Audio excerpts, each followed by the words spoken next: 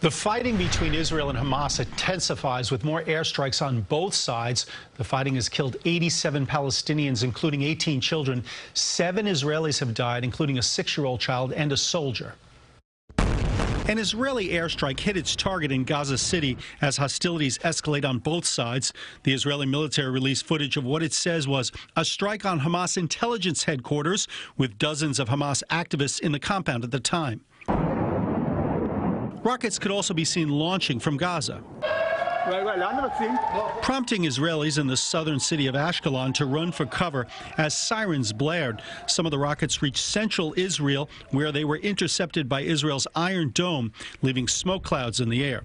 Israeli Prime Minister Benjamin Netanyahu visited the Iron Dome missile defense system and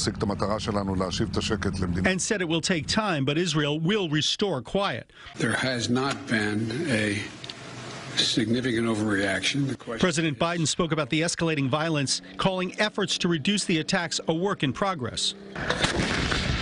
While Israel's military trades blows with Gaza militants, many are concerned with the fighting that has spread to cities where Arabs and Jews live side by side. Joanna Nasser says she's owned her ice cream shop in a Tel Aviv suburb for years and never expected to be attacked by a Jewish mob because she is Arab. She says we are all human and both sides are hurting. And many airlines are stopping flights to Israel as the violence escalates. Delta canceled at least six flights from New York, and American and United both said they were canceling flights to Tel Aviv through Saturday.